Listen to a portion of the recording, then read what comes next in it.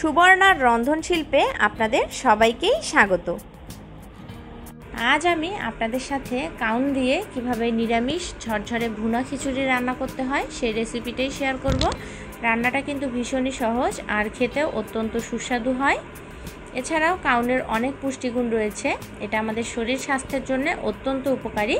তো চলুন তাহলে দেরি না করে রেসিপিটা আমরা দেখে নিই। ভিডিওটা শুরু করার আগে আপনাদের কাছে আমার রিকোয়েস্ট আমার রেসিপি ভালো লাগলে অবশ্যই আমার ভিডিওতে লাইক দিবেন এবং আমার চ্যানেলকে সাবস্ক্রাইব করে চ্যানেলের পাশে থাকা বেল আইকনে ক্লিক করে দিবেন। এতে করে আমি নতুন কোনো রেসিপির ভিডিও আপলোড দিলে সঙ্গে সঙ্গে সেই নোটিফিকেশনটা পেয়ে যাবেন। কাউনের গুনা খিচুড়ি রান্না করার জন্য এখানে আমি ওয়ান ফোর্থ কাপ মুগ ডাল নিয়েছি। বড় দানার যে মুগ ডালটা আছে, সেই ডালটাই আমি নিয়েছি। টোটাল এখানে আমি এক কাপ কাউনের খিচুড়ি রান্না করব। এখানে আমি হাফ কাপের থেকে সামান্য একটু বেশি কাউন নিয়েছি। কাউনগুলোকে ভালো করে বেছে পাঁচ ছয় ঘণ্টা আগে পানিতে ভিজিয়ে রেখেছিলাম। এরপর এটাকে ধুয়ে ছাকার মধ্যে রেখে দিয়েছি। খিচুড়ি রান্নার সময় আপনারা যদি কাউনটাকে পাঁচ ছয় ঘণ্টা আগে ভিজিয়ে রাখেন, এতে করে কাউনের খিচুড়িটা খুব ভালোভাবে সেদ্ধ হয় এবং এটা ঝরঝরেও হয়। খেতে খুবই ভালো লাগে। তো কাউনটা আমাদের রেডি এখন প্রথমে ডালটাকে ভেজে নিতে হবে। এখন ডালগুলোকে ভাজার জন্য চুলায় কড়াই বসিয়ে দিয়ে এর মধ্যে ডালগুলোকে দিয়ে দিলাম। এখন চুলার আঁচটা কম রেখে অনবরত নাড়াচাড়া করে ডালগুলোকে ভেজে নিতে হবে। মুগ ডালের মধ্যে একটা কাঁচা গন্ধ থাকে, তাই ডালগুলোকে যদি ভেজে এই খিচুড়িটা রান্না করা হয়, তাহলে খিচুড়ির টেস্টটা কিন্তু বেশি ভালো হয়। তো প্রায় দুই থেকে তিন মিনিটের মতো সময় লাগবে ডালগুলোকে ভাজতে। ডালগুলো ভাজা হয়েছে কিনা বোঝার উপায় হলো, একটা ডালের দানা আপনারা মুখে নিয়ে দেখতে পারেন। যখন দেখবেন ডালটা মুচমুচে হয়ে গেছে, ঠিক সেই পর্যায়ে ডালগুলোকে নামিয়ে নিতে হবে।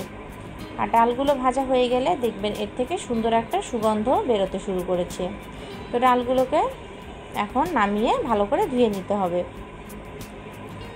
এখন ওই কড়াইয়ের মধ্যে দিয়ে দিলাম দেড় টেবল চামচ সয়াবিন তেল এবং এক টেবল চামচ সরিষার তেল।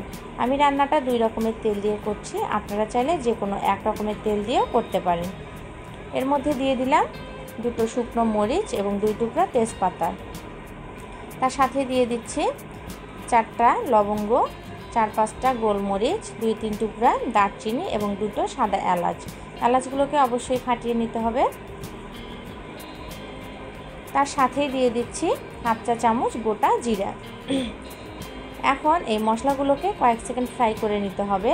যখন দেখবেন জিরাটা ফাটতে শুরু করেছে এবং মশলার কালারটা চেঞ্জ হয়ে মশলার থেকে সুন্দর একটা ফোড়নের সুগন্ধ বেরোচ্ছে, ঠিক সেই পর্যায়ে এর মধ্যে একটু পানি দিয়ে দিচ্ছি যাতে মশলাটা পুড়ে না যায়। এখন এর মধ্যে দিয়ে দিচ্ছি বাড়িতে যে চা চামচগুলো থাকে সেই চামচ দিয়ে এক চা চামচ আদা বাটা এবং ছোট চামচের হাফ চা চামচ জিরা গুঁড়া, এক চা চামচ হলুদের গুঁড়া। তার সাথে দিয়ে দিচ্ছি দুই তিনটা ফালি করা কাঁচামরিচ। ঝালটা আপনারা নিজেদের স্বাদ অনুযায়ী দিবেন। প্রায় দেড় থেকে দুই মিনিটের মতো মশলাটাকে কষিয়ে নেওয়ার পরে এর মধ্যে ভেজে ধুয়ে রাখা ডালগুলোকে দিয়ে দিলাম। কয়েক সেকেন্ড নাড়াচাড়া করে নিয়ে এর মধ্যে পানি দিয়ে দিতে হবে।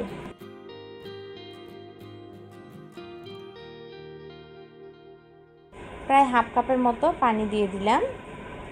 এখন প্রায় চার থেকে পাঁচ মিনিটের মতো চুলা রাসটা মিডিয়ামে রেখে এই পানিটাকে শুকিয়ে নিতে হবে। আর তার সাথে দিয়ে দিচ্ছি স্বাদ মতো লবণ। এখানে আমি এক চা চামচ লবণ দিয়েছি। লবণটা অবশ্যই আপনারা আপনাদের স্বাদ অনুযায়ী দিবেন।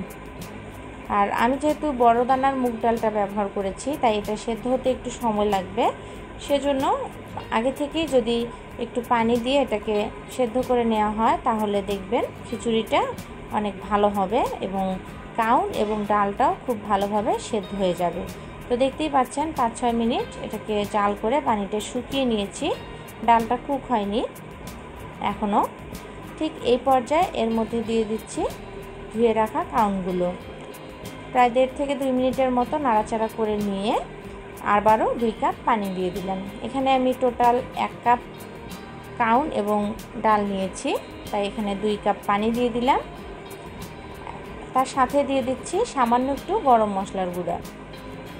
আর এই পর্যায়ে চুলার আঁচটা হাইতে রাখতে হবে এবং এটাকে জাল করতে হবে। যখন দেখবেন কাউন এবং ডালটা এরকম একটু গা মাখা পর্যায়ে চলে আসবে, ঠিক সেই পর্যায়ে চুলার আঁচটা একেবারে কমিয়ে দিয়ে এটাকে দমে রেখে দিতে হবে প্রায় ২০ মিনিটের জন্য। প্রায় বিশ মিনিট পরে ফিরে আসছি। তো বিশ মিনিট লো ফ্লেমে এটাকে জাল করে নেওয়ার পরে দেখতেই পাচ্ছেন কাউন এবং ডালটা পুরোপুরি সেদ্ধ হয়ে গেছে। তো খিচুড়িটাও আমাদের রান্না হয়ে গেছে। এখন চুলাটা বন্ধ করে দিব এবং এটাকে আবারও ঢাকা দিয়ে দিচ্ছি এবং পাঁচ ছয় মিনিট এটাকে এভাবেই রেখে তারপরে নামিয়ে পরিবেশন করব। তো বন্ধুরা, তৈরি হয়ে গেল আমাদের ভীষণই মজাদার কাউনের ঝরঝরে নিরামিষ ভুনা খিচুড়ি। তো আপনারা অবশ্যই এভাবে খিচুড়িটা বাড়িতে রান্না করে খেয়ে দেখবেন এবং রেসিপিটা কেমন লাগল আমায় কমেন্ট করে জানাবেন।